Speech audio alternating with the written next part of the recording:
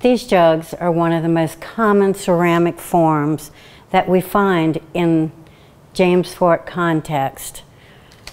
They were made in Frechen, Germany, a little town just about seven miles outside of Cologne. They're brown, salt glazed stoneware.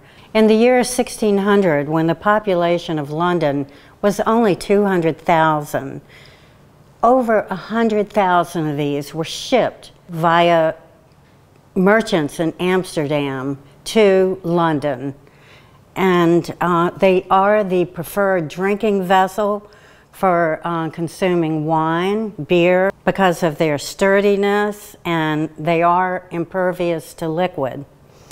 Um, you can see that they are embellished with uh, a mask um, of a man, uh, and they're called Bartmann jugs, which means bearded man in German. Many are uh, embellished with medallions, which are the coats of arms of families, of nobility, royalty, but also cities and countries. For instance, this little Bartmann jug has the coat of arms of Elizabeth I. And it was recovered last summer when we were excavating the blockhouse in the Fort extension.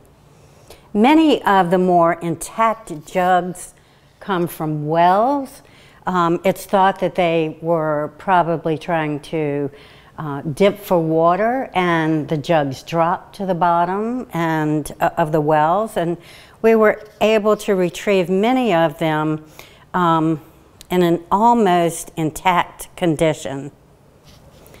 The medallions are coats of arms of uh, royalty. This is the uh, coat of arms of James I of England, and we have the coat of arms of Amsterdam. This is one of the more common coats of arms that we find in our assemblages because the merchants who controlled this Bartmann jug market were from Amsterdam. Um, we have the coat of arms of the Holy Roman Empire, and this is dated. Um, we have an 04 at the top, and um, we can assume that's 1604. This is the Danish coat of arms. So there is a wide selection of coats of arms represented here at Jamestown.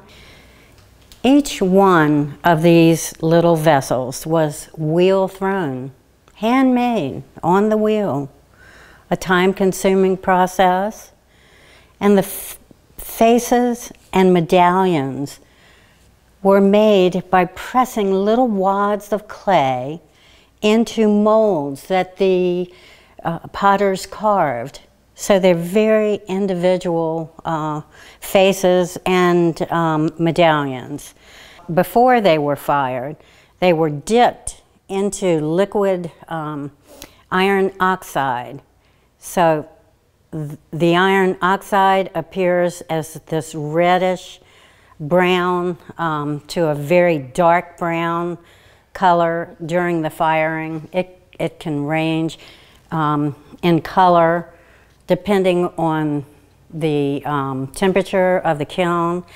And some of the medallions and faces were uh, decorated with cobalt uh, oxide as well, which shows up as blue. We're working on our minimum number uh, count of the vessels. Uh, we have well over 100 represented at, to date, but uh, I am certain that many more will be recovered in the future.